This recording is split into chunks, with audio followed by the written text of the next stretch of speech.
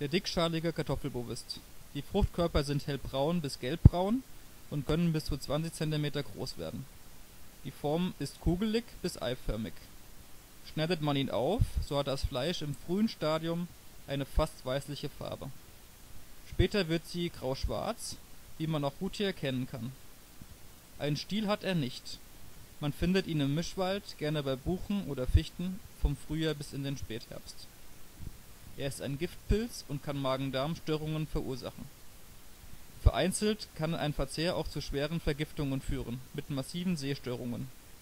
Um sich zu vermehren, schießt er seine Sporen bei Druckausübung wie zum Beispiel Regentropfen aus einer Scheitelöffnung. Deshalb wird er auch gerne Puffpilz genannt